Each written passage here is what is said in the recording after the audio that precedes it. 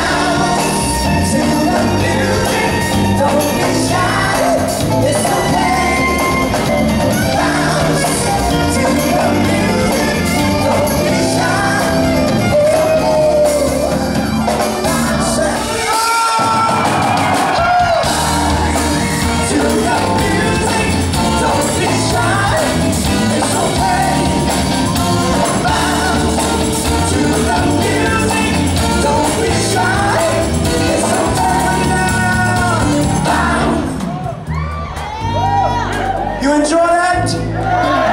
Yeah. Now we got something special. We don't have very long as we get ready for the boss to come on.